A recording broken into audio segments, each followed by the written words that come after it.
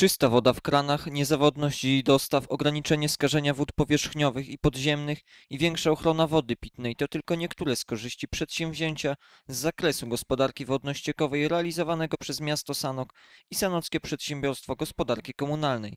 Przeprowadzenie prac w ramach projektu Poprawa gospodarki wodno-ściekowej w aglomeracji Sanok opiewającego na kwotę 174 milionów złotych jest możliwe dzięki pozyskaniu przez miasto Sanok i SPGK dofinansowania z Funduszu Spójności w wysokości 89 milionów złotych. To dla 40-parotysięcznego Sanoka największe przedsięwzięcie inwestycyjne e, no, w historii. Jest wiele projektów realizowanych, natomiast ten pożytek, przede wszystkim pożytek ekologiczny, bo o tym trzeba zawsze rozpoczynać, jest ogromny. Jest to, co nas czeka, to realizacja potężnego przedsięwzięcia, ale pożytek ekologiczny czyszczy san, mniej skażone środowisko naturalne, a przede wszystkim czystsza woda dzięki temu drugiemu etapowi ujęcia, modernizacji ujęcia wody. I z tego jesteśmy olbrzymie, bardzo, bardzo szczęśliwi.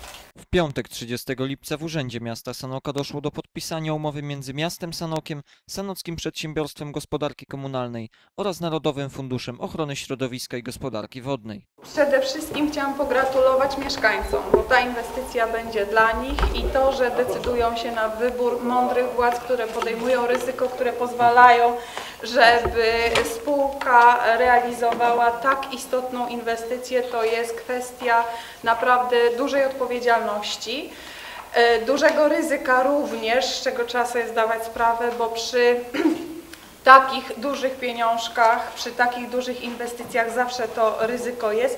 Natomiast bez y, tak prężnych władz samorządowych, bez tak prężnych spółek, które z tą władzą y, współpracują, y, władz spółek i, i pracowników, na pewno mieszkańcy mieliby za rok, dwa, trzy problemy, ponieważ z jednej strony w 2015 roku czekają nas rozliczenia z tytułu Krajowego Programu Czyszczania Ścieków, który jest wpisany w traktat akcesyjny jako ten element bardzo istotny i wtedy te samorządy, które nie robią tak odważnych działań jak to które dzisiaj w pewnym zakresie finalizujemy, bo to jest tylko cząstka tej drogi, która przed państwem, no niestety będą ponosić konsekwencje finansowe. Inwestycje zakłada przebudowę oczyszczalni ścieków w Trepczy, budowę dwukomorowego zbiornika wyrównawczego z magistralą wodociągową, budowę sieci wodociągowo-przemysłowej spinającej o długości około 3 km oraz przebudowę stacji uzdatniania wody w Trepczy. Fizycznie prace rozpoczną się w marcu lub kwietniu 2011 roku.